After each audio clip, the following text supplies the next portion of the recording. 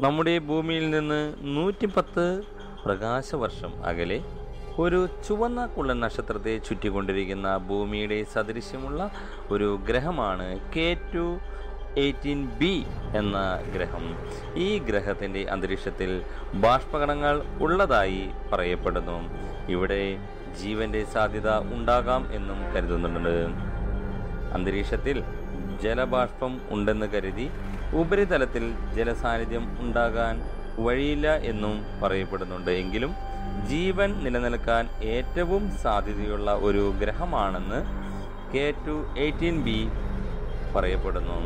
പഞ്ഞിക്കെട്ട് പോലുള്ള മേഘപടലങ്ങളും തെളിഞ്ഞു മിന്നുന്ന സൂര്യനുമുള്ള കെ ടു എയ്റ്റീൻ ബി എന്ന ഗ്രഹത്തിൽ ഗുരുത്വാകർഷണ ശക്തി ഭൂമിയേക്കാൾ വളരെയധികം കൂടുതലുമാണ്.